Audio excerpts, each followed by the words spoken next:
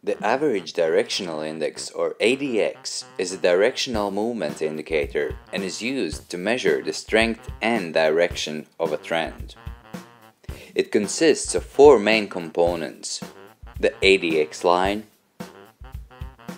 the plus DI line, the minus DI line, and the 20 level. Let's take a look on how to use this in your trading. First of all, ADX is great to determine if the pair is in a range or in a trend.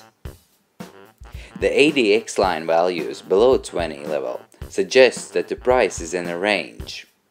And when the ADX rises above the 20 level, it shows that the trend may be starting. So when the ADX is below 20, you can trade range opportunities. You can use indicators like stochastic to look for overbought and oversold readings to determine your entries and exits. When the ADX rises above the 20 level, it signals that the consolidation period is over and you can start looking for breakouts and other trend following strategies. Minus DI and plus DI lines are used to determine the direction of a trend. So, if a plus DI line is on the top, it suggests that the price is trending upwards. And if the minus DI line is on the top, the price is trending downwards. Another important thing about the plus and minus DI lines is the height of the peaks after crossovers. Let me show you what I'm talking about. Here, the plus DI line has been on the top for some time, suggesting an uptrend.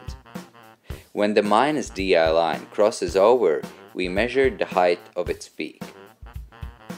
If the peak is lower than the plus DI last peak, it shows that the recent price action has been just a retracement and we should still be looking for buying opportunities. However, if the minus DI peak after the crossover is higher than the plus DI latest peak, it signals us that the trend may be changing and we should start looking at either closing our long positions or looking at selling opportunities. Subscribe to our channel so you don't miss our next video about Bollinger Bands and check out other videos from our chart indicator course.